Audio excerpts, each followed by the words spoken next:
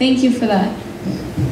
Um, okay, so yeah, that's fine actually. Why do I need to adjust that?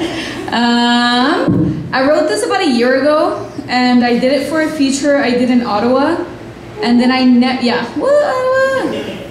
Um, uh, but then I never performed it again. I think my writing has definitely improved since then, but yeah, word.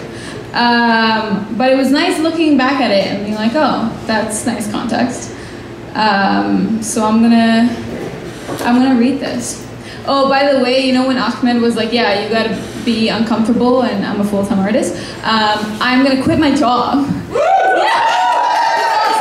Um, um, to, to be a full-time artist. And it terrifies the crap out of me, but I'm so excited because I'm gonna pursue. Yeah, thank you. Uh, yeah, I'm gonna pursue what I love doing, um, and it's time. It's time to do it full force. So, yeah. Okay. If life is a game to help you remember what your soul already knows, then that means your soul examined the game of life long enough to want to play in it. Knew the game would not be easy, but you hoped it would be worth it.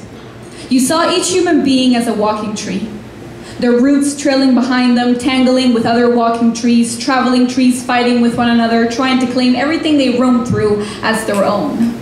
Ownership. This abstract notion that made your soul laugh, as you could clearly see the root of the problem.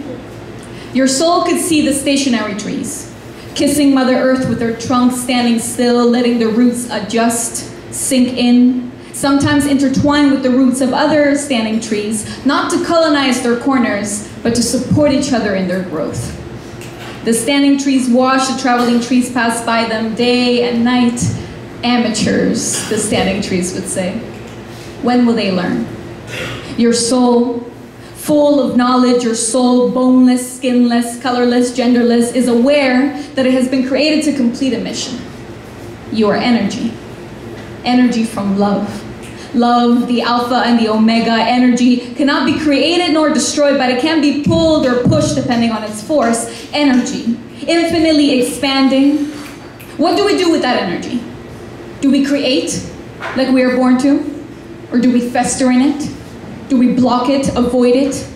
Your soul, awake and wise, knows that in the game of life it is extremely easy to forget, to get distracted. Money, this fabricated paper will slowly enslave your mind, your mind, a computer designed to retain information, memories, learn and unlearn behavior, calculate, will make a hypothesis on what it knows that it knows in order to conclude what it knows it may not know, gets frustrated with the possibility of not knowing what it doesn't know,